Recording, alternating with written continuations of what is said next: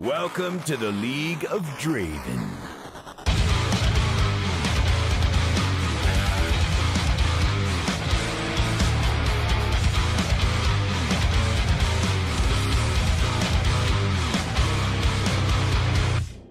Dámy a páni, chlapci a dievčatá, vítajte pri počúvaní 206. dielu Joloky podcastu. Moje meno je Matej Inquisitor Kane Lipka a na tému counter junglenia sa so mnou prišiel porozprávať pán Fifinas. Vítaj.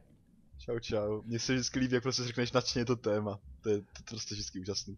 No tak je, lebo ja som vždycky taký šťastný, keď sa nám podarí nájsť nejaké, nejaké zaujímavú, zaujímavú tému, ktorá ešte nebola spomínaná, že chápeš, toto ide všetka tá radosť a energia.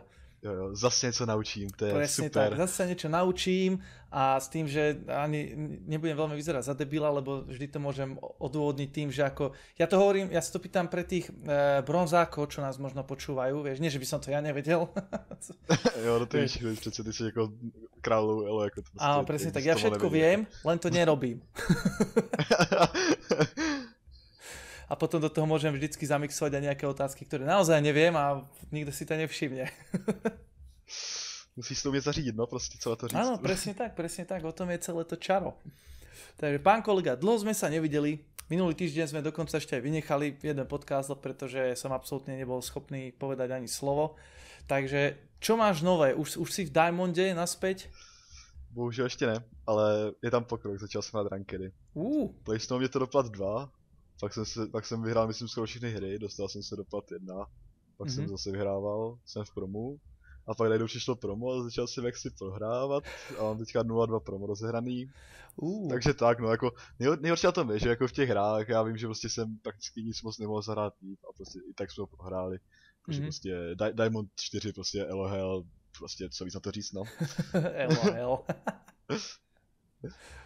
Jaj, to by si si s profíkom mohol porozprávať sa o tomto. Jo, on to jako neměl do Diamondu a my si dopadli na nebo kam to a tak jako, asi bychom se o tom dokázali popovídat, protože to bylo fakt otřesný. Ale jako ještě tam ta naděje, jo, prostě tři výhry po sobě, není to nereálné. To je no a co máš pravda. ty nové, pan kolega? A ty už nemáš oné, uh, tie promo help pre však? To plné platiny už není, si myslím, to je No, podle sa do dá, že to od go, v Gold 1 ešte máš posledný krát a už od No, platiny by to asi malo tak bude, no. Fungovať. No minimálně minulou sezonu to ještě nebylo v platině, si myslím určitě. Mhm. Já nevím, oni to možná posunuli teďka, ale netuším, jako Neviem, jsem to mi. To víš, no já jsem vždycky prvom vyhrál na poprvé, tak nikdy se nemusel řešit. Presne tak, presne tak. Ach, aj, tak som až ryšel těch prom. Trochu treba poflexiť, vzdvihnúť si ego a náladu. jo, jo. ja do Diamondu neprehrávam, tak najskôr tak v plat jednotke možno prvé dve prehry.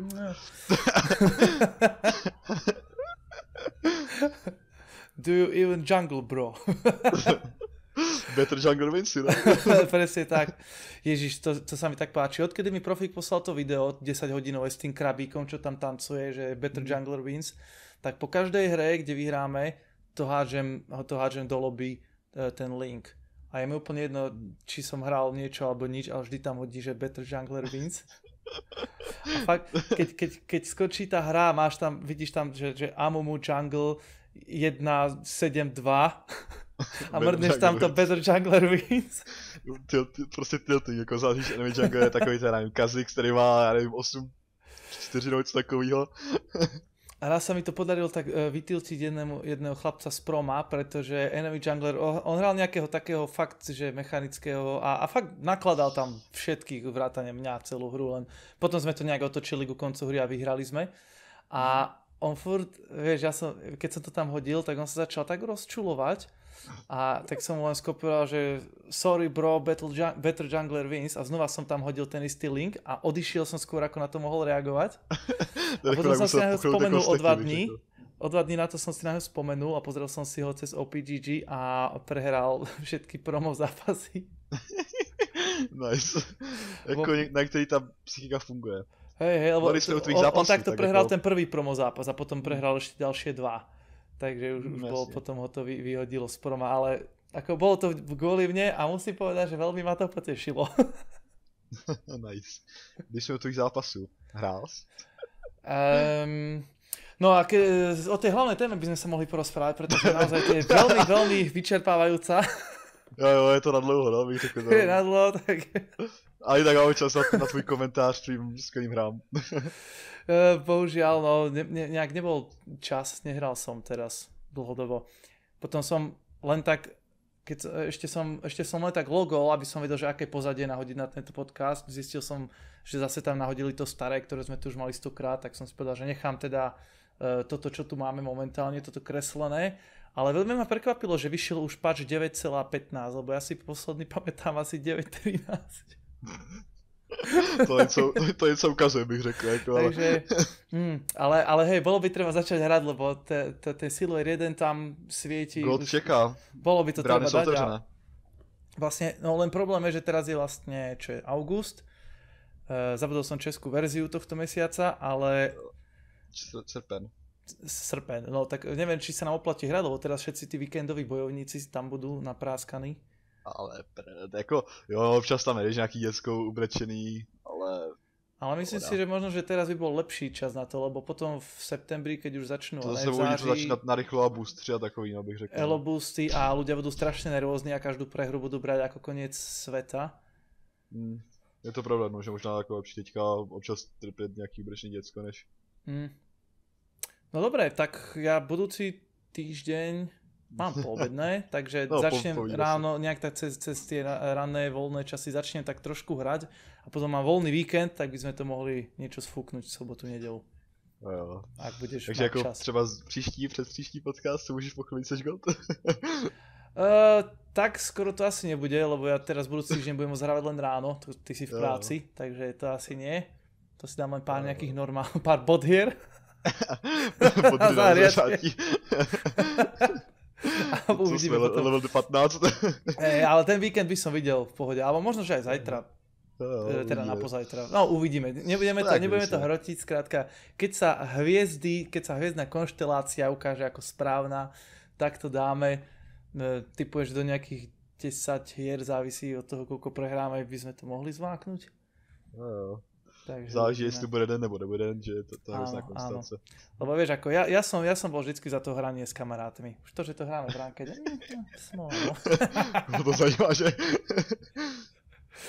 OK, no a teda, aby sme, aby sme vyhrali nejaké tie rankedy, keďže bohužiaľ ja, ja musím chodiť do džungle, tak e, čo keby sme sa pozreli na to, ako, ako teda uh, robiť counter jungling a ako sa mu brániť, aby sme si zaistili nejakú tú výhru. Čo ty na to?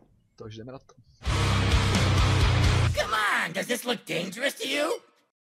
Counter jungling.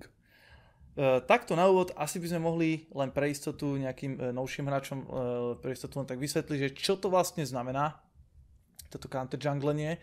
A pokiaľ tomu ja rozumiem, uh, tak counter jungling uh, je v podstate o tom, že ja ako jungler prídem do nepriateľskej časti džungle uh, s úmyslom buď to zabiť nepriateľského junglera, alebo mu vyžrať jeho kempy, aby nemal XP a goldy, prípadne buffy. Přesně tak.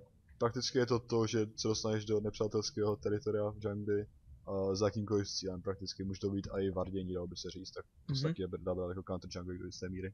No v podstate hej, lebo vlastne vďaka tým deep wardám, ako to volajú, uh, vidíš, kde ten priateľ je a môžeš potom ho Vlastne, no. napingovať a Mm. pokaziť mu gang a podobne. Jasně, no, prostě jakmile vstoupíš do nepřátelské jungle, tak je to prakticky counter jungling, dalo by Mhm. říct. OK. Uh, poďme, uh, hneď takto na úvod by som povedal, že mohli by sme sa pozrieť na nejakých vhodných čempov na counter jungling, že koho by som si mal vybrať, ak chcem by ísť na counter jungling. No, tak a mu to asi úplně nebude, co si mám hávat. Ale tak jsou tady takový dvě hlavní možnosti, bych řekl. První, dá se counter jungling jako prakticky se vším, že když vybereš správnou příležitost, ale o tom Mhm. mm-hmm. později. Ale takový hlavní dvě kategorie jsou buď power farmeři, kteří prostě rychle ty kempy dokážou vyčistit a zmizet, Mhm. a já nevím, třeba Warwick, Gain, dejme tomu. A, Uh, ten uh, Nunu.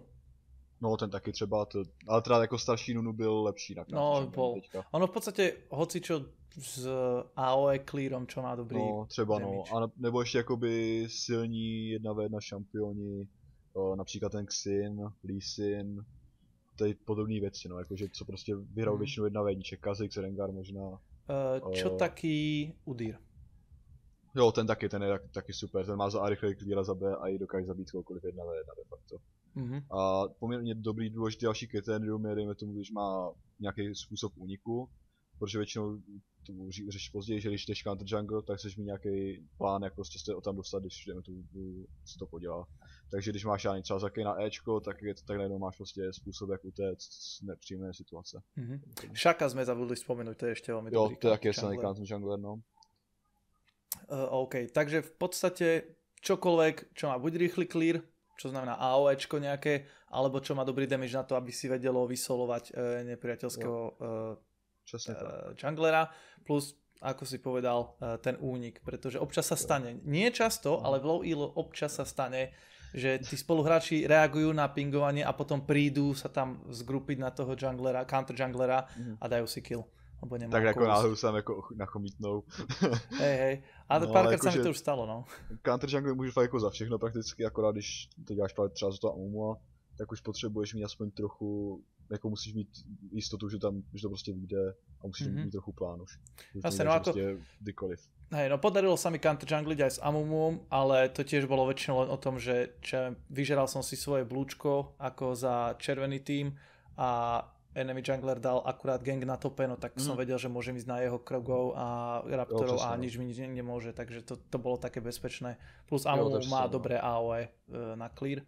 Ale nie je to akože šampión, s ktorým by som naozaj reálne sa pozeral, že hm, teraz by som mohol ísť na counter jungle.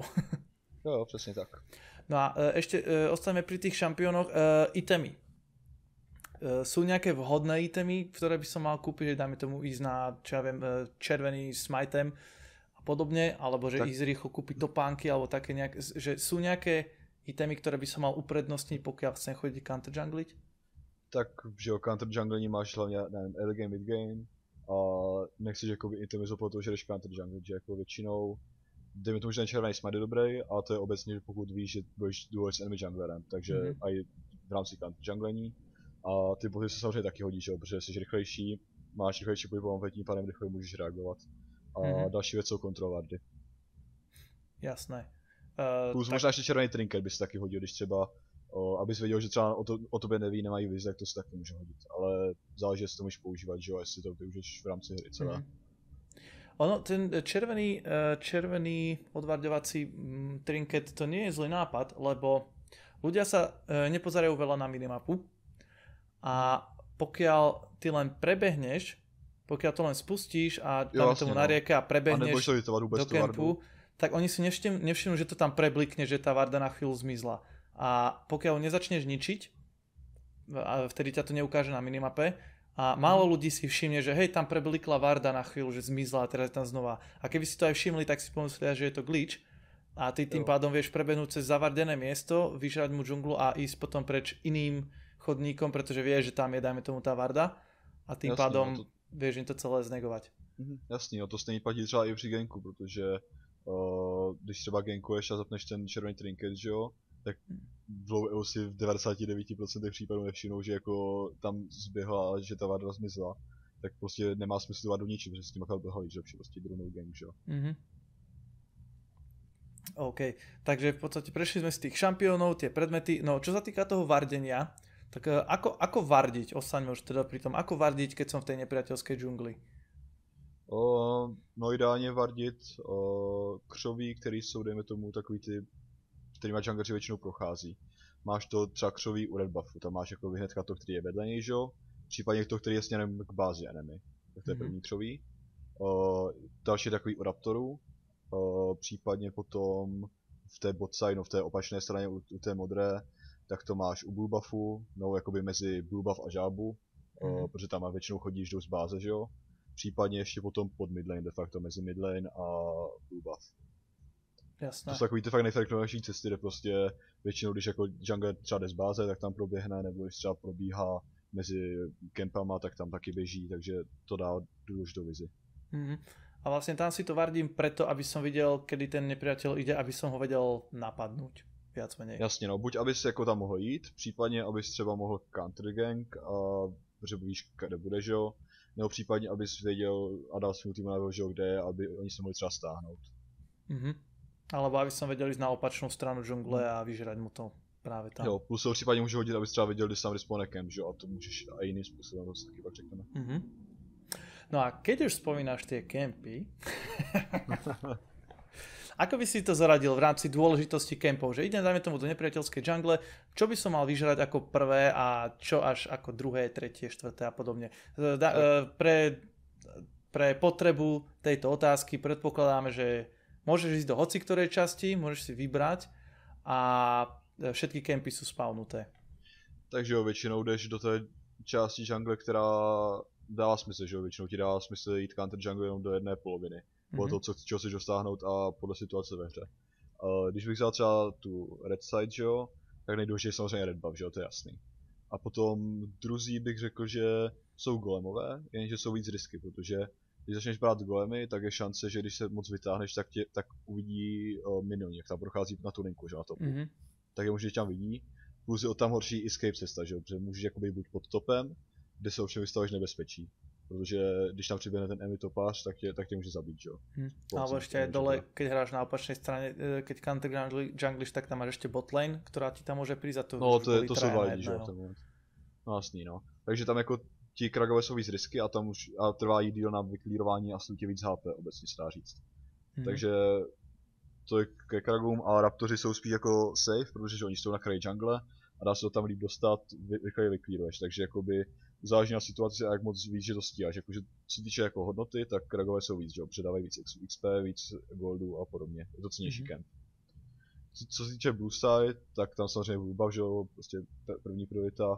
A potom je to prakticky jedno, co se týče goldu, expu, tak to jde zhruba na stejno. V velkou se zase víc vystavuješ nebezpečí, že jo. Mhm. Protože se dáš jako hlouběji do enemy jungle, midlane a botlane může, má víc času zareagovat, když by se náhodou něco stalo. A tvůj tým má méně času naopak zareagovat. Takže opět záleží. Jasné. Takže v podstate sa to dá zhrnúť, že e, buffy sú najdôležitejšie. Jasně. Tam asi vždycky sa oplatí sa e, rozhodovať, keď máš šancu zobrať aj buď red alebo blue, tak asi podľa toho, že proti komu hráš. Dajme tomu pri Amumuovi je lepšie mu zobrať blue buff, pretože on potrebuje veľa many No. a červený buff mu nie je až tak potrebný. Naopak Presne pri tak. takému Kazixovi, Lisinovi, tak tým sa oplatí ujebať práve ten červený buff. Mhm. A potom teda Krag, Raptor a s tým, že na modrej strane je to v podstate jedno. Vlci sú Prakticky jo. nebezpečnejší. Takže je Presne lepšie, tak. keď dáme tomu, že by som išiel do modrej časti zožrať blue buff a žabu a ísť preč? Jo, jo, nebo případně jako, že když fakt víš, že ten jungle je tomu na topu a že nemá šanci se dostat v brzké době, tak můžeš jít fakt jako všechno, že jsem prostě blue, Mhm. mm-hmm. vlky, žaba, a když mám třeba na kraba nebo farmit svůj jungle. Nebo gangbot třeba přes kytu ještě můžeš využít. Jasné. Ještě No no a- teďka napadla zajímavá pointa, jak jsme řešili counter junglery, tak to Mhm. je Kindred, protože ta, že jo, to se spanou značky jakoby v enemy jungle, takže counter jungle de facto musí. No, tam je to trošku nebezpečné, lebo No, protože to se dá prediktit, no. vieš, že ona tam bude chcieť ísť tiež veľmi rýchlo, takže to musíš mega dobre sledovať, kde je, čo robí Jo, a jo. pokiaľ nie je úplne blbá, že, ti, že to tam nechá sedieť 10 minút, tak je, je to Jo. dosť ťažké. Ale e, s týmito kempami sa v podstate ešte spája veľmi dôležitá otázka o tom, ako e, nechávať toho jedného malého miniona nažive. Lebo kedysi to bol, Určite. bolo dobré pravidlo, že necháš to tam a tým pádom e, dajme tomu, že necháš jedného malého vlka alebo jedného malého raptora a nes, neres, neresetuje sa ten kemp. Mhm. E, alebo prípadne, že vyžereš len toho najväčšieho kruga a necháš tam toho druhého malého, aby sa neresetol kemp. ty kragy většinou vyžírám komplet, protože ti dávají docela hodně XPček a goldu i, i ti malí, že jo. To se Mhm. po nehodí vyžírat komplet a u těch raptorů a vlků většinou nechám toho jednoho malýho, ale třeba když už jako vím, že jako mám tu dominanci nad tou junglí, tak třeba to vyžeru celý, protože vím, že za ty dvě a půl minuty, tak tam budu moci znovu a vyžrat to. Tím pádem je to pro mě víc XPček. To ale je to, vím, čo som... No. No, když víš, že jako to je dejme tomu vyrovnanější hráč, že to třeba může otočit a ne- není jistý, že prostě si budu moc dovolit jít do enemy jungle to vyžrat, tak tam nechám a tím pádem denynu enemy junglerovi XPčka. Mhm. To som práve sa k tomu chcel aj dostať, lebo dakedy sa to hovorilo, že skrátka treba nechať toho jedného, aby sa mu neresetol camp a on potom prichádza o, o XP, lenže potom ako sa menila džungla tisíckrát, tak už posledne som zase počul, že e, nie je to až také výhodné, pretože v podstate ty prídeš o e, tým, že tam necháš toho malého, tak prídeš o pár expov, pár goldov a hlavne netušíš, kedy ten nepriateľ tam príde a vyžere ten camp a kedy sa to resetne. Jo, Proste, práve, že keď no, ho to zničíš celý, tak ty presne vieš, kedy tam môžeš prísť na counter junglu, pretože uh, vieš, kedy sa to tam spawne, tým Jo, pádom, ale- ak aj nenájdeš enemy. enemy junglera na zabitie, tak máš aspoň ten camp. Mhm. No a když to vyžereš ty, že jo, tak enemy jungler zase neví, kde se tam spawne, takže s tím nemůže dejme tomu počítat při tvoření cesty junglí. Mhm. Tiež pravda, no, on nevie vlastne, kedy sa to resetlo. Aj keď, Mhm. uh, Když tam je vada, tak to ví, no, ale to je jediný Mhm. způsob. Jakože mu se pak, že jo, když tam dejme tomu hru běhne, tak mu se potom ukáže na minimapě, kdy se to res- respawne, že jo, Jak- jakože když se respawne, tak se mu to ukáže na minimapě. Ale neví přesně ten timer, jakože nemůže s ní počítat dopředu. mhm. Takže vo všeobecnosti je lepšie to vyžrať celé. Jo, jo, de facto, jo, že fakt jenom když víš, že prostě nebudeš mít prakticky možnost tam jít do enemy jungle, tak prostě to tam necháš toho jednoho, aby se aspoň trochu vytvořil ještě větší ztrátu pro enemy. Mhm. Takže v podstate nechávať to len pokiaľ len, že už sa tam nebudem vrácať na ďalší, ďalšie vyžeranie toho kempu. Jo, přesně tak. A ono... A hlavně je to otázka jenom dvou kempů, že jako to není tak dejme tomu důležitý, že to jsou že raptoři a peci. Ty hlavně prostě chceš vyhrát vždycky. Mhm. A oni hlavne sa aj res, eh, despawnú samé za chvíľu, takže No, tam nemá zmysel nechávať, lebo eh, keby no, som ich aj... ten, má, ten druhý malý, jakoby ten, který není z těch 100 velkýho, že jo? Tak ten se nedespawne. No ten nie, ale väčšinou, keď tam prídeš, väčšinou ľudia majú už AOE clear, buď to z hydry, Hmm. alebo nejak tak prirodzene. A zabijú obidva tie počiatočné kragy a tým pádom všetko, čo sa spavní z nich, už tam No, už, zmizne. už despawne. Mhm. A tým pádom vlastne ani ja neviem, keď to tam nechám, tak ani ja neviem, kedy sa to resetne, no, pretože to by som musel vedieť, koľko sekúnd to trvá, kým sa to despawne a priráta to k tomu času, keď odchádzam a No, už zložitá matematika, hej, na low elo. A plus prichádzam všetky tie peniaze a XP, ktoré tam z toho sú, čiže vlastne veľmi som nikomu nepomohol tým. Přesně tak. Jediný tam OK. chceš nechat prostě, když víš, že už enemy jungler přichází a třeba reaguje jeho topář nebo botlane na, na to, že Mhm. víš, tam seš. Jasné, tak tedy mu, hej, len to pokaziť trošku a utiec preč, lebo najhoršie, čo je v counter jungle, nie je prísť tam counter jungliť a potom tam zdochnúť a dať nepriateľovi XP, goldy.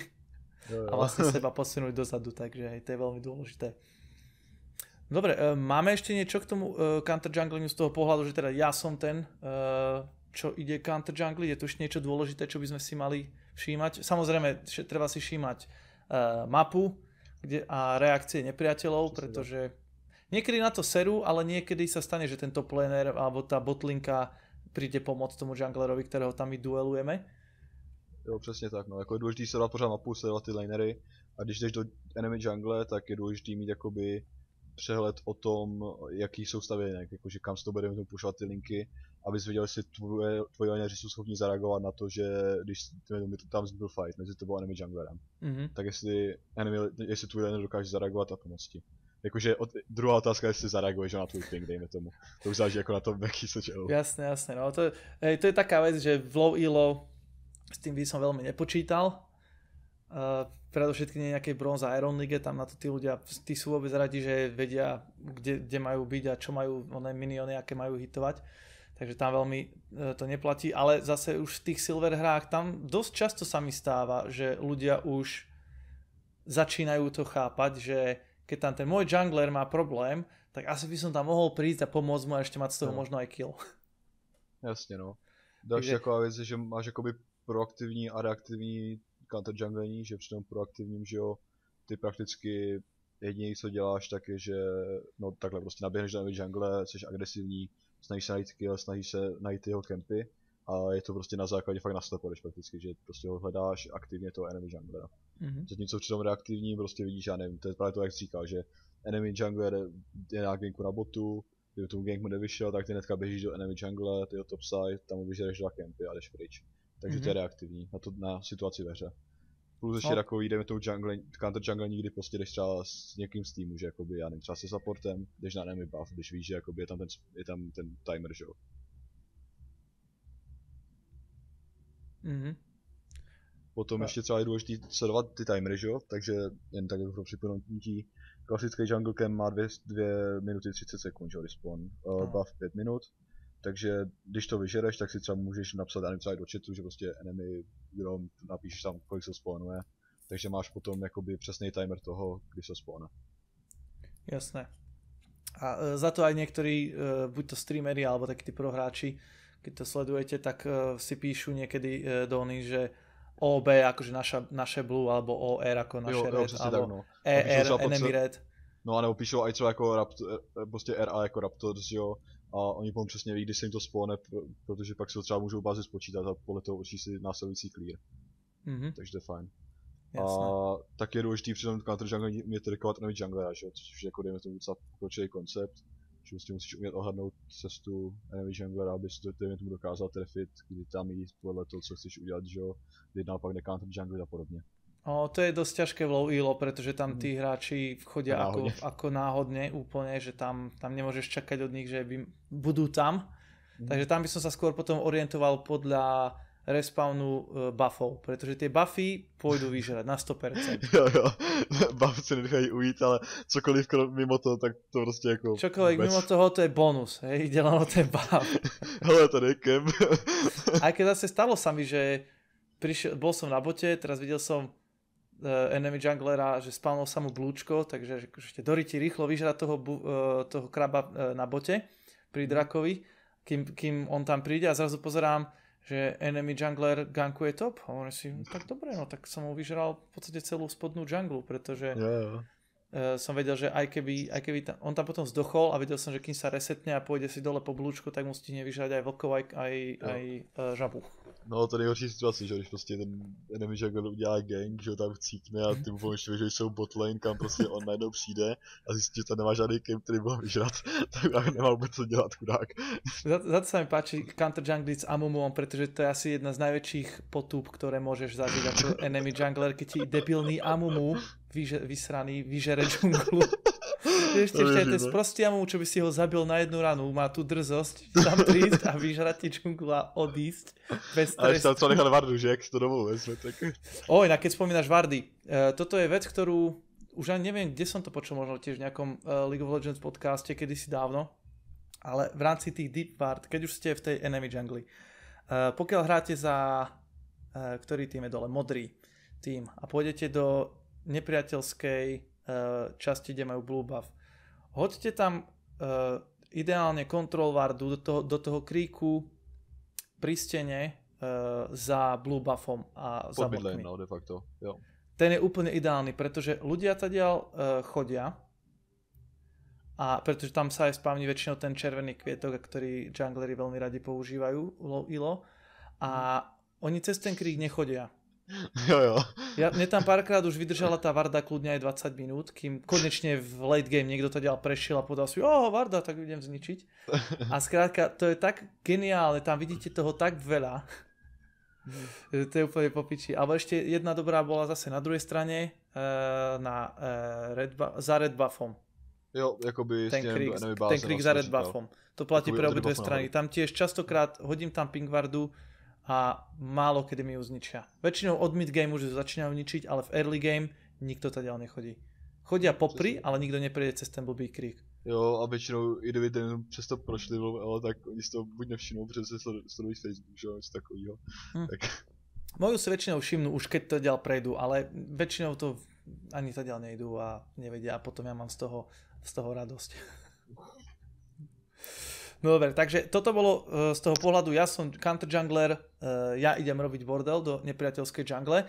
Máme ešte niečo k tomu?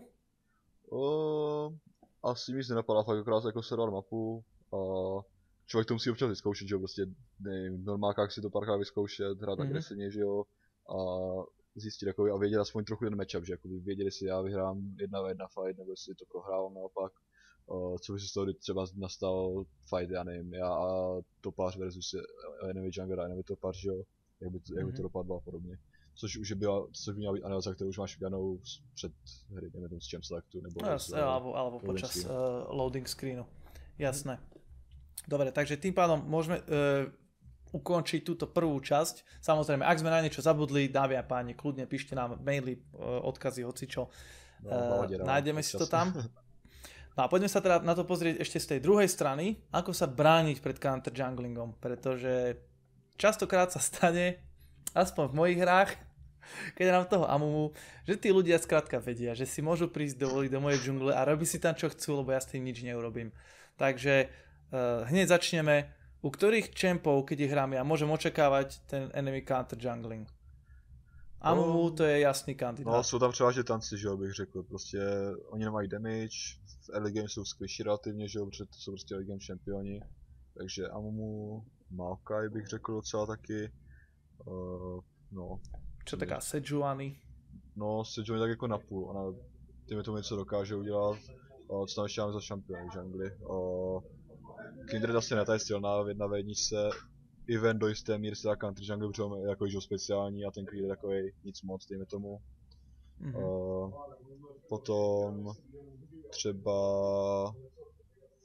No, to je asi tak všechno, co mě napadá, to jsou takový. No, e, Mastery napríklad si pamätám, že on je taký pol na pol, Mhm, tam on občas chodí například- counter jungle třeba na enemy buff, no, jakože chodí se snažit o kill, Mhm. jsem viděl. ale um, aj keď mňa Counter Jungler, keď som ešte hrával Mastery, uh, viem, že uh, neviem, či to bolo len tým, že enemy bol veľmi zlý, ale viem, že Udira som si vedel vysolovať, takisto Xina, aj Jarvana, ale napríklad takého Kazixa, ktorý mal izoláciu v tej džungli, tak toho som Hovno, aj, aj toho sa mi podarilo 1v1 zrušiť, keď mi prišiel robiť counter jungling. Jo, Ale no. zase už od midgame už som to nezvládal. Už Udyr bol lepší, uh, Kazix s izoláciou, Jo. ten už ma zabíjal na 3 rany a podobne. Takže tam, tam to tiež záleží na tom. Viem, že Lisina som si ešte nakladal, čo bolo celkom vtipné. Jo, jo. Ale to asi tiež závisí od toho, proti komu hrám, lebo proti dobrým, ešte aj dobrý Nocturne ma vedel si ma vysolovať a podobne. Mhm. Takže tam asi, asi len závisí, ale treba to predpokladávať pri takých šampiónoch ako sú Assassini, ktorí majú na hovno early game a teda tanci, ktorí nemajú ešte itemy. No, hlavně ti tanci bych řekl. Někteří asasini jako dokážou vydovat v pohodě, třeba jako Rengar. Kha'Zix mají early game damage až dost, bych řekl většinou. Mhm. A většinou stačí. Ale jako záleží na matchupu, že jo, protože ně- někteří šampioni třeba counterujou, jiný. A nevím, třeba za Master proti Vice, že jo, prostě vždycky porazíš, protože točneš kvéčko a, a v high. Mhm. Jasne, takže v podstate to môžeme, rieši, uh, môžeme uh, sumarizovať asi tak, že jednoducho, keď hrám tank alebo niečo squishy early game, čo prípadne nemá veľký No, damage, môžem očakávať no. counter, gang, counter, gang, uh, counter jungling a zvyšok je už len potom o čisto o tej skúsenosti z hry, že či ja viem, hrávam proti takému šampiónovi a viem, že väčšinou týma chodia counter jungliť a už potom sa len naučiť, či to viem zvládať alebo nie a podľa Jo, toho sa přesně tak, no. prispôsobiť. No a nebo když třeba hraješ off-metu, ehem, co na jungle, něco takového, jako to se taky vždycky dostává šikanu v jungli. No jasné, keď hráš off, off, off metapiky alebo nejaké také pre zábavu, hej, ako Sonia do džungle alebo Soraka a podobne Veigar, tak treba čakať, že ten nepriateľský jungler si uvedomí, že robíš sračky a pôjde ťa za to potrestať. Jo, právě no. No, čo sa týka nejakej itemizácie, tam podľa mňa nie je nič, čo by som mohol, no modrý smite sa hodí, ich spomaliť trošku možno, A to, Ale oni väčšinou majú nejaké gap jako closery. redukuješ damage red smitem, že jo, kolik ti dávají, že to je o 15% damage méně, že to se hodí. mm, O vardy hlavně, ty control vardy, to je prostě důležitý, dál defenzivní vardy, aby si No. věděl. a v to podstate len hlavne vardiť si prístupy do džungle. Jo, přesně tak, no. A mít efektivní clear bych řekl, že je taky dobrý ještě, no. Mm. No ale tam je dôležité uh, hlavne zavardiť to. Uh, v podstate môže mať 3 vardy. Samozrejme, pokiaľ mňa counter junglia, tak ani nerozmýšľam nad tým, že by som si swapol trinket za červený. Tam potrebujeme Přesně, všetky možné uh, vardy, čo môžeme Kupovat mať. dvě kontrolovat vždycky v bázi, že jo, abys měl, když ti tu jednu zničí, abys mohl dát další a Mhm. A vlastne len zavardiť si 3 miesta, ideálne tak, aby som videl čo najviac uh, vchodov do džungle Mhm. a potom už len chodiť tam, kde viem, že ten nepriateľ nie je. No a- tak, no. Ako teda môžem prispôsobiť ten jungle pathing? Pretože ono väčšinou už keď e, sa udomácnia v mojej džungli, tak si ju tam chodia vyžierať, väčšinou ako tak tušia, že kedy sa čo respawne. Tak ako sa tomu môžem prispôsobiť? Půjdeš na vertikální jungling, prostě když víš, že jsou tvoji bot side, že dejme tomu, já nevím, jsou třeba, jsi blue side, že jo, oni jsou u tvýho redka, tak víš, že prostě nejspíš jejich top side uh, bude pohnutá, že jo, protože prostě tam nemohli Mhm. mm-hmm. tak rychle vyklírovat. Takže můžeš jít tam, že to zkontrolovat a případně, když fakt jako víš, tam jsou, tak můžeš uh, požádat o help týmu, že samozřejmě, prostě napingovat o help a doufat, že přijdou a odchytit ho třeba. Mhm. Ešte dôležité by som povedal je uh, tiež nielen to vertikálne junglenie, ale hlavne byť na kríž od neho. Jo, Pretože jo. ten jungler väčšinou musí ísť do LK, do ktorého, ktorejkoľvek strany. Ak by sa chcel no, dostať jakože tam, nemůže kde jít na som ja. pořádně, pokud třeba midlane má pressure, tak na diagánu mít nemůže. lebo cez mid lane väčšinou nepôjdu. Pretože No, tam... pokud není elo, který, který mu je fuk, že se tam ukáže na minionech, ale pak o něm víš, jo. No ja, to zase ja ho vidím a môžem odtiaľ včas zdrhnúť. ale Vlastne, dokonca máš čas aj teleportu sa z báze, keď vidíš, že ide priamo cez mid lane k tebe. Jo, lebo si ide, dajme tomu na to redko, čo som mu práve vyžeral, tak mám čas ísť do vedľajšieho kriku a portnúť sa. Ale a v tom prípade, ak teda sa rozhodneme ísť pre toto, tak určite treba nejakú kontrolu Vardu a hodiť ju tam cestou, aby som vedel, že mu nechodím cez zavardenú časť v džungle. Pretože aj to sa mi párkrát stalo, že išiel som teda, že idem teda do tej časti, kde on nie je, aby som to nejak dohnal tú stratu a samozrejme za pol minúty už bol na mňa aj s jeho top, top lanerom a zase som zdochol. Úplne zbytočne. no. No a No. ako môžem teda dorovnať tieto straty? Mám chodiť Tak. viacej na genky, alebo... Jo, jo. Může víc na ganky, že jo, protože dejme tomu, co jiného může dělat, že jo, gang na opačné straně mapy, tak že jo, to prakticky jediné, co můžeš udělat, kromě counter junglení zpátky. Uh, Mhm. Plus potom, že jo, ono se to potom ustálí, dejme tomu trochu zahrát, když jakoby to nebude úplný stom, tak zase třeba tu nadvládnutou junglí získáte později a máš, že jo, catch up XP, který už to nefungují, ale fungují pořád do jisté míry. Takže to potom trochu doženeš a pokud hraješ právě to, ta, to dejme tomu šampiona, který je náchylný na counter junglení a mu mu Maokai, cokoliv takovýho, tak to má zase scaling, že takže jakoby důležité je nesnažit se udělat fighty, kde který prostě prohraješ nejspíš a prostě přijmout to, že prostě přijdeš od 2-3 kempy. Mhm. No a hlavne prispôsobiť sa ešte aj tou itemizáciou. Ja napríklad uh, v low elo veľmi rád hrám AP Amumu, alebo teda granátového Amumu, ako to volajú, pretože je to naozaj vtipné, keď človek dá QR a ADC zomrie. na jednu- Skôr ako sa vôbec stihne dostať z toho, uh, z toho stunu. Ale uh, keď prehrávam a counter jungler má, tak nie je šanca na, naskladať také silné AP itemy, aby sa mi to darilo. Takže vtedy je jediná možnosť je fakt ísť len na tie uh, zbroje, životy, magic resisty, armory. Ono je to ešte aj lacnejšie ako útočné predmety. Samozrejme, pokiaľ hrám Assassina, tak si to nemôžem dovoliť ísť veľmi na nejaké takéto veci, takže tam... Tam... Vlastně, ale zase Assassin většinou prostě nemá špatnou early game na to, aby ho dokázali do counter je. Mm. Takže tam, tam už to len vydržať, dorovnať, snažiť sa aspoň o nejaké tie asistencie a... Snaží se někde prostě něco do farmy, prostě pokud to jde, tak prostě to, Mhm. snaží se nabrat, kde to jde, ale ne na úkor svých lanerů, že jo. A hlavně se snaží neumírat, jako, že když tam prostě půjdeš a umřeš, tak je to taková další ztráta pro tebe a bude to ještě No. horší potom. To sme zabudli povedať, že vlastne hlavne, hlavná vec je nezomierať, lebo prichádzame o tie uh, goldy a XP. Chce to dát takový opatrně, když půjdeš na ten camp, že jo, tak ho kajtovat do bezpečného místa, vykajtovat ho třeba do křoví, který je prostě dál od těch vstupů do jungle, Mhm. abys měl případně čas a viděl ho a on tě neviděl. Takže vlastně vždycky jako je to efektivně, že ho to vykajtovat ven a potom prostě hlavně hrát opatrně, a když tak utéct, to dobré. Nebo za- zapingovat o help. Tiež dobrá vec je e, nesnažiť sa ukradnúť drakov, No, ako som je, no. zistil na vlastnej koži. jako, že to vyjde tak jednou z deseti případů, možná z Párkrát som sa snažil fakt, že videl som, že á, enemy jungler je niekde na svojom blúčku, zoberiem draka. No a samozrejme, už som ho skoro mal a vtedy tam prišiel ten enemy jungler, zabil ma, dokončil draka a celý tým mi on pingoval, že som idiot, takže No, no. tam ozaj treba. A hlavne ono už potom od tej mid do late game, väčšinou ľudia už sa začínajú hrať Aram na tom ide a vždy sa nájde aspoň pol, pol, aspoň pol vlny na nejakej bočnej linke, kde môžem si to prísť sfarmiť. No vlastně, no, nebo můžeš pofarmit jungly, protože i ten jungler většinou je Adam, takže potom máš jungle pro sebe, pohoda, už si Mhm. nemusíš nějak moc stresovat. To. Len v low elo je zase problém, že tam keď sa zavelí all mid, tak kto tam nejde, tak je debil samozrejme. Takže to je taký trošku problém, je, že všetci, že ideme na mid, ideme na mid, ideme sa byť. Ja hovorím, že ľudia, ale ja som 3 levely pozadu, ja potrebujem aspoň túto posratú žabu si zobrať a tých vlkov, čo sa mi tam spawnili, lebo konečne môžem. A samozrejme, strane sa tam teamfight, všetci zdochnú. Amomu, debil, kde si bol? No, tak, hej, level vlastně, když se 5 Amomu by vám veľmi pomohol v tom fighte, kde všetci už sú level 10. To mi připomíná, jsem jednou hrál Kasadina, prostě byl jsem asi level 14 a prostě náš server topař, je prostě pořád psal, pojď na mid, pojď na mid, pojď na mid, proč jsi pořád tom botu, proč tam farmíš, proč mid pušuješ. Řekl jsem, ty vole, nech já farmit 16 a pak je porazím mi dáme 5, tak zavři hubu a hry. Krutý Fifinas.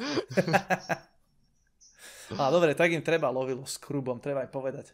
A prostě. Aram se nehraje, jako tohle není, tohle samozřejmě Rift, ne Howling Abyssník.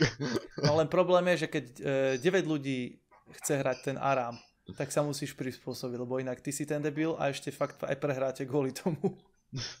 Tak záleží, jestli stalo. jako ten tvůj tým je fakt jako tak extrémně hloupý, anebo a zkusí volat 4 5 fight, nebo jestli budou mít aspoň trochu rozumu a zkusí aspoň bránit vieš, prostě vyčistí Mm, Ale nie, to, to tak nefunguje skrátka, to je low elo, tam neriešiš nejakú stratégiu, tam je to celé o tom dať si ten kill, ideš vyhrať teamfight a chápeš, to je, to je úplne jedno, že si 3 levely pozadu a nemáš itemy, ale ste tam ako to 5 na zajímá, 5, vyrovnaná situácia, kľudne to naflešujem pod tú posratú väžu, lebo môžem a my to vyhráme a keď to nevyhráme, tak uh, samozrejme, koho je to chyba? No toho, čo tam nebol, samozrejme.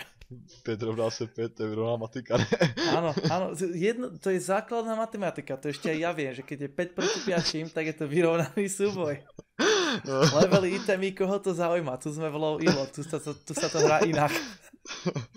Zober si svoje high elo stratégie, strč si ich do rytí a ako do svojich diamond hier. Tu hráme Aram. Deal with it, boy. Uh, vidíš, a preto to, preto to ma potrebujete aj s profíkom, aby som vám vysvetlil, ako sa hrá v low elo, lebo to je profik vždy príde, ty vole, čo robia, ako to tak hrajú? A ja, hovorím, a ja vždy musím potom povedať, že ale to je normálne, skrátka. tak S tými prostě vedomostiami, čo 90% my tu dole v elo máme, tak to, takto sa to hrá. Jako je pravda, že vzhledem tomu, že takhle hraje, dejme tomu 70 nebo 80% lidí, tak to de Mhm. facto normální je. Áno, presne tak, lebo normálne je to, čo je väčšina. Čo, čo, alebo čo si myslí väčšina, takže pohodička. No ale, ale e, vlastne späť k našej téme. E, vlastne mali sme tu, že ako dorovnať straty. No čo také genkovanie? Pretože ja napríklad mám tiež taký problém, že sa cítim veľmi zbytočný. Som pozadu, dajme tomu o dva levely alebo tri a v tých prípadoch mám aj taký pocit, že ja nemôžem ísť ani na gang, pretože tam väčšinou zdochnem a len tým zhorším situáciu. Jasně, ale to je právě problém, že když třeba zkusíš někdo Dariuse, který je o tři levely nahoru, tak, tam, tak to prostě nemá smysl, tam prostě umřete Mhm. oba nejspíš, takže jako prostě se trochu zrozumí ty genky a záleží, jak moc pozadu seš a v kolik ztrát utrpí jako v early game. Uh, No ale celkově bych řekl, že to se dají ty hry prostě vyčkadou, že jako by, já jsem to už párkrát taky zažil, že prostě dejme tomu early game jungler mě náhodou vycounter junglil a dejme tomu mě i zabil dokonce, Mhm. ale prostě potom dejme tomu o 15 minut později, tak on najednou nevěděl co dál, že jo, a přestal mě counter junglit tak nějak. A já jsem se zpátky do hry, dotáhl jsem levely a bylo to v pohodě zase. Ono tu aj dosť závisí e, od toho, čo hrám, Mhm.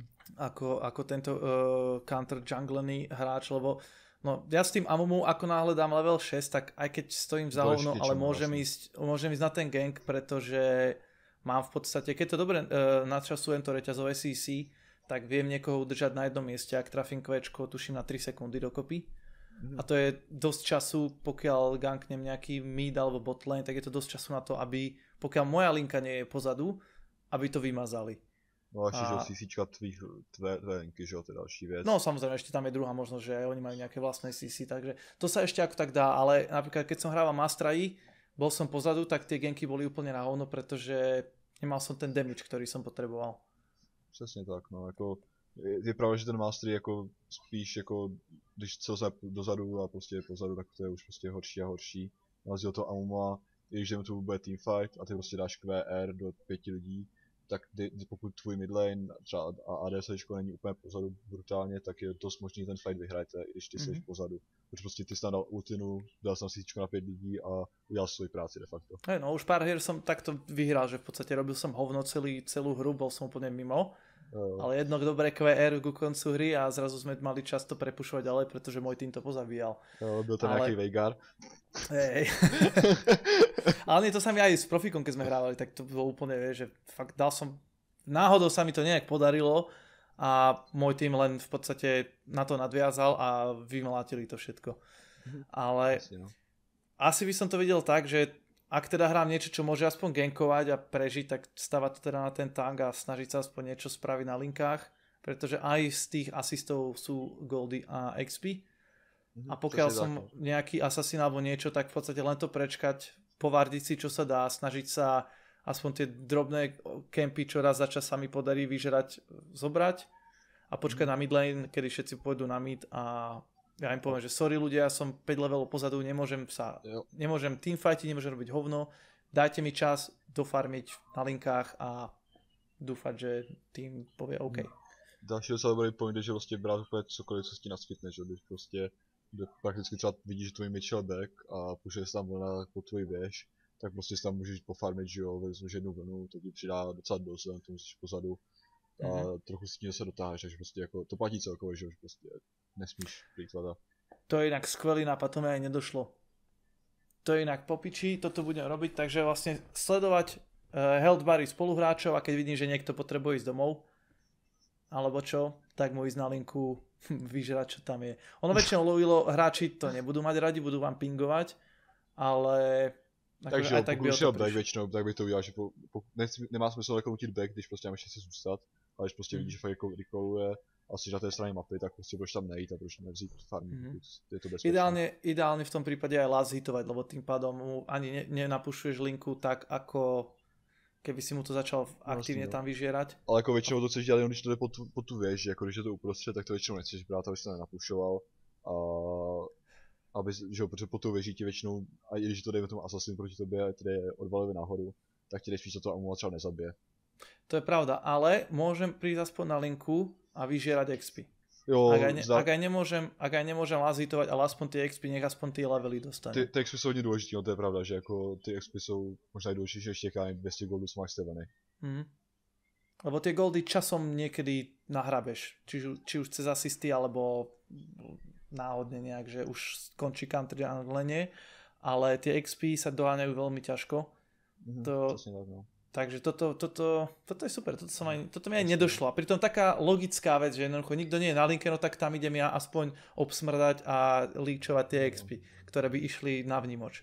A přijde mi, že většinou pokud to enemy junglera, který ti inviduje, tak aspoň jenom zabiješ, takže většinou to nechá, nebo jako, že většinou to by to dá dost goldu, zvlášť pokud máš ten kill a jo, třeba on nějaký shutdown, tak to je hodně goldu, plus většinou potom se poučí, že jako vidí, že tvůj tým třeba reaguje, takže třeba potom už si dá větší bacha a už jako ostražnější, jako když prostě nikdo nereaguje, tak prostě on nemá prakticky důvod, proč necounter junglit, že jo. Jo. A toto je dobrá vec, ktorú by sme mali klipnúť a hádzať to všade možne na internet, že pre ľudí, ktorí nehrajú junglu, keď vidíte, že vám junglera kantrujú takto, tak choďte tam aspoň vystrašiť, aspoň len, len tam byť skrátka. Jasně, ale pokud je to možný, že třeba pokud fakt jako napušovaný pod věží, tak a musel bys to obíhat složitě, jak, jako to vě- většinou nestíneš ty na druhý, takže jako, a zkusit to třeba aspoň tam pomoct. No jasné, aspoň, aspoň z diaľky prísť, aspoň tam hodiť jednu tú abilitu, len aby vedel oný, alebo aspoň sa tam presúvať. Support veľmi často môže prísť.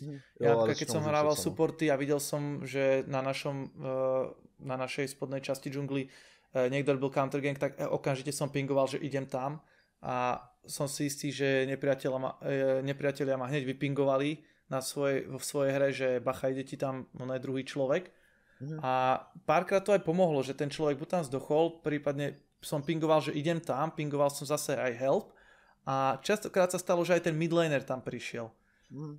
pretože zacítil, zacítil krv, zacítil, že a môže si dať kill zadarmo, lebo budeme tam traja na jedného a ja si dám kill. KS. A v tom je potom tá výhoda, že keď sa ten človek naučí, že dajme tomu, nemôžem chodiť do spodnej časti džungle, pretože ten drbnutý support tam vždycky príde a zoberie za sebou aj midlane, tak už bude vedieť, že môže chodiť maximálne na, dajme tomu, na hornú časť džungle, lebo dajme tomu top laner na všetko sere. A odrazu ten náš jungler má jednu mapu, kde má tri kempy, ktoré mu nikto nezobere. A Přesně tak, no. nedostane sa tak pozadu. Takový zhrnutí vlastně jungle tam není jenom pro tebe, ale ty tam jsi aj pro junglera. Mhm. OK, no a aby sme to uzavreli, tak uh, ešte v rámci tejto obrany proti counter gang, uh, jungleniu uh, by som sa na záver pozrel na tú psychologickú uh, stránku veci, pretože ono je to strašne frustrujúce.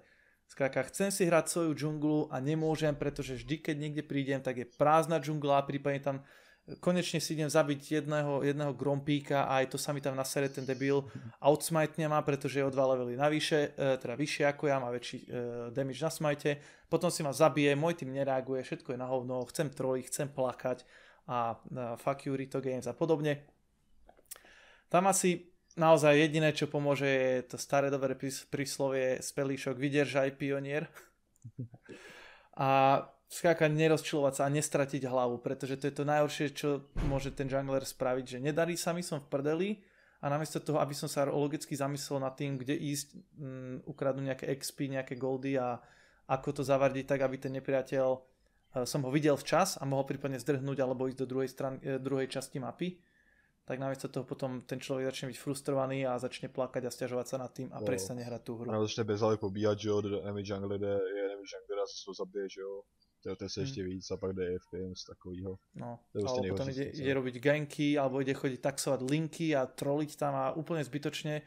Skrátka, len sa treba s tým zmieriť, že OK, counter jungle má, túto hru budem mať ťažkú, bude to na hovno, ale hmm. môžeme to zase otočiť na, takéto, na taký ten tréning alebo na, na takú minihru, že dobre, som v prdeli, nezvládam to, ako to spravím tak, aby som zomrel čo najmenej a aby som bol schopný sa v midgame alebo late game dostať naspäť.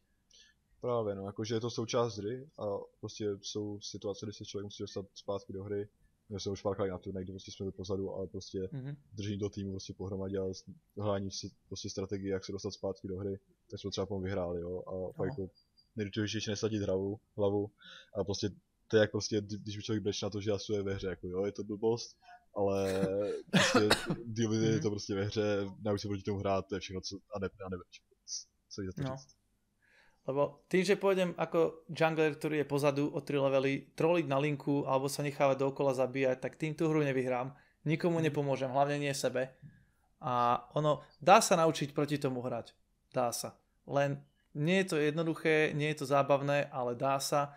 A už len tým, že ten človek, že ja ako jungler chcem nenafidiť a chcem sa dostať naspäť do hry a rozmýšľam nad tým už len tým, si zvyšujem šancu e, na výhru a zvyšujem si šancu na postup do budúcna, pretože keď sa mi to stane párkrát, poučím sa z toho, naučím sa nejaké typy a triky, e, čo platí na, dajme tomu, uh, junglerov v mojej, v mojom elo, tak do budúcna už potom bude tie ďalšie counter junglingy o to, o to menej Jasne. No. výhodné pre toho nepriateľa, lebo viem, že dajme tomu, oh, dajme tomu, ja neviem, som v Silver League, viem, že ten blbeček bude chodiť väčšinou tadiaľ to, stačí to zavardiť, napingovať ho No, Môj midlaner, dajme tomu je nafidnutý, povie mu, počuje, keď ti pingnem, poď sem, budeš mať free kill, easy.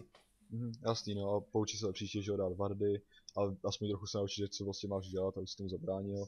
Plus, že jo, když třeba můžeš začít counter ty, třeba z ní čampiona, začít dát něco agresivnějšího, když jako máš s ním problém a mm-hmm. dokážeš hrát proti counter junglení, tak prostě začít hrát, já nevím, Sinca nebo Dira a counter junglení bude pryč. Mhm. Mne sa to darilo aj s Fiddlestickom. Mm-hmm aj keď on je veľmi zlý, kým ho neprerobia budúci rok, uh, dúfam, že k lepšiemu, ale tam má toľko, toľko leasingov ma chcelo prísť uh, counter jungliť, pretože vieš, to ti každý, každý leasing guide ti povie ako prvé fiddlestick, ježiš, toho rozkopeš na, na, na, na cimpr campr. A oni tam potom prídu, samozrejme, uhneš sa jeho kvečku a ak sa mu aj neuhneš, tak ešte keď na teba letí, dáš mu fír. No. Potom mu hodíš oné, ten drain, Jo, on, chlapec... on, on to autoatakama, ty si že ti dáva damage. On nemá čo robiť, no. On nemá čo robiť skrátka a nemôžete zabiť, lebo potom, keď dostane ďalšie kvety, už máš zase svoj fír naspäť. Ten drain je tak silný, že on ťa skrátka nepredamidžuje na tých prvých pár leveloch a medzi tým už väčšinou tam príde môj tým a zabil ho. No právě, no jako důležité je prostě se poučit, ano, případně když fakt jako to už nejde, tak třeba zní čampiona. A nebo taky dobrý mm. je, že prostě když člověk si vyzkouší counter junglení, že jo, a zjistí prostě, že třeba jak na to reagují enemy jungleři, tak třeba může zjistit, že prostě jak, jakou to má slabinu, že jo, counter jungling, to je prostě jak když třeba někdo mi řekne, že prostě Yasuo jede porazit na blbost, tak mu řeknu zahraj si ho a potom uvidíš, jak, jak je to těžký a jak můžeš tomu hrát. Mm-hmm. To je nejvyšší Presne tak, lebo uvidíš, ako teba vlastne porazia tí nepriatelia a potom si povieš, a možno, že stačilo si piknúť tohto šampióna, alebo... No, nebo stačilo hrát takhle, takhle, dát vardu, cokoliv. Mm-hmm. Presne tak. Dobre, uh, ja som asi vyčerpal všetky moje uh, uh, otázky, ktoré som mal. Máš tam ešte niečo, niečo, nejaký dodatok, čo by si povedal na záver? Už asi nic moudrou nenapadá, co by jako chybilo. Možná jsme něco vynechali, ale tak případně to může doplnit potom komentář. Presne tak. Ak sme na niečo zabudli, vynechali alebo podobne, tak ako vždy priatelia, komentáre na YouTube tuto dole sú vám k dispozícii, môžete sa tam niečo opýtať. Viem, že tuto Fifi nás bude viac než uh, šťastný, keď ma budem na to odpovedať. Prípadne, prípadne skoršie ku nám na Discord, tam vám tiež veľmi radi uh, ľudia poradia, že čo ako máme tam dokonca aj pár high hráčov, ktorí vedia, o čom je táto hra. Takže je tam záruka, že dostanete nejakú odpoveď, e, ktorá aj bude stáť za viacej ako uh, starú Belu. jo, jo, ale tu je všem na všechno, bacha na to. Čože? Že odpovídá všem na všechno, je to plne aktívne. O, samozrejme, samozrejme, tam sa nám môžete opýtať na všetko, okrem uh, číslo môjho účtu a veľkosť istých orgánov, pretože to, to sa nehovorí takto na internete, lebo potom by sa nám smiali všetci. No, no to je jedno. Nebudeme riešiť um, uh, profesionálnu radu na záver, keďže pán profesionál tu nie je. Takže, pán kolega, ešte niečo, čo by si chcel, s čím by si sa chcel rozlúčiť s nami na dnes? Ne, ne, jen grindíte rankedy, ať dáte samozřejmě tu vysněnou divizi do konce sezóny, která se blíží poměrně, tak tři měsíce zhruba. No, no. je všechno. No a ty samozřejmě dej ten gold, takže to je všechno. Také 3-4 mesiace ešte máme uh, tejto sezóny, takže to dovtedy snad nejak, nejak ten, ten, tu je, ten, ten gold doťukneme. OK, dobre, ja tiež už nemám čo, takže uh, asi uh, len to uzavrieme. Takže dámy a páni, uh, ďakujem veľmi pekne, že ste to tu s nami vydržali za tú necelú hodinku, ako sa na to tak pozerám. Dúfam, že ste sa niečo zaujímavé dozvedeli. Fifi, nás tebe veľmi pekne ďakujem, že si bol ochotný sem prísť a takto sa tu so mnou porozprávať a podeliť sa o svoje skúsenosti. Naozaj si to cením. Dúfam, že teda ťa tu uvidíme aj na budúce. No a toto bol 206. diel YoloQ podcastu. Ďakujeme za pozornosť a do počutia o týždeň. Čus. Čau, čau.